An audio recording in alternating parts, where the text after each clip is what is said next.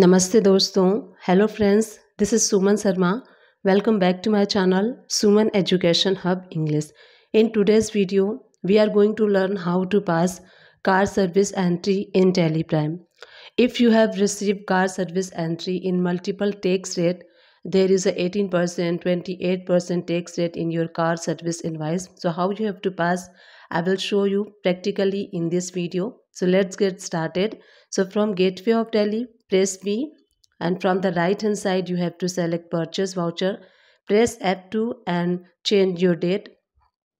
Here you can see purchase voucher has been open in item wise mode. We need to change this item wise mode because we are going to pass purchase entry of service not for goods. So that's why from the right hand side click on change mode you can see here item invoice selected select accounting invoice in this mode, we will pass car service entry.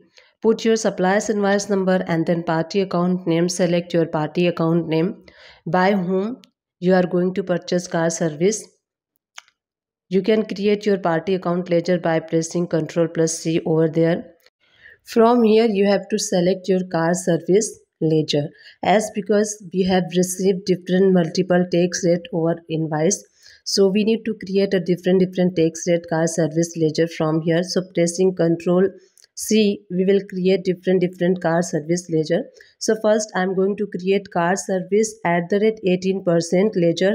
Under indirect expenses gst will be applicable. You have to put SAC code of the car service.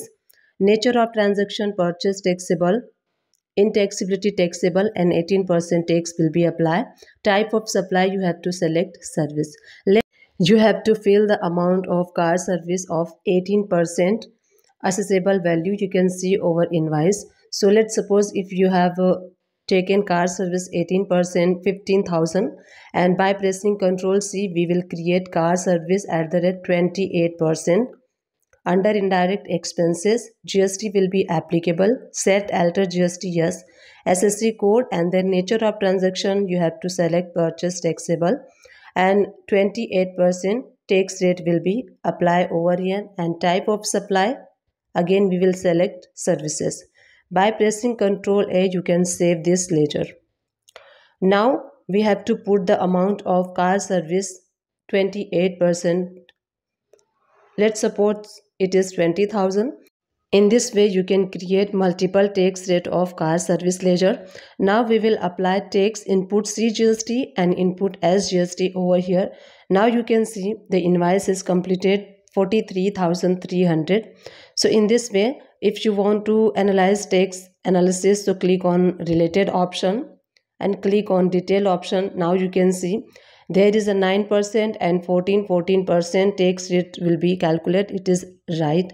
If you want to see print preview then you have to click on print and then current and then preview and you can print preview of your invoice. So in this way you can also pass car service entry with different different tax rate in Tally Prime. Thank you and keep watching my videos